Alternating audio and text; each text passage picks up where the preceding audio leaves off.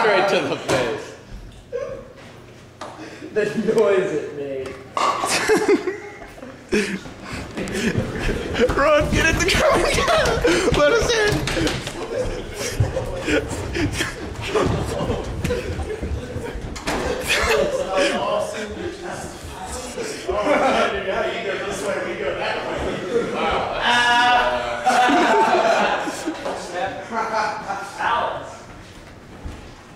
They just threw bottles at his face when he was asleep. Jacob, sleeping on the couch. And you can hear it, it's like, go. Ha ha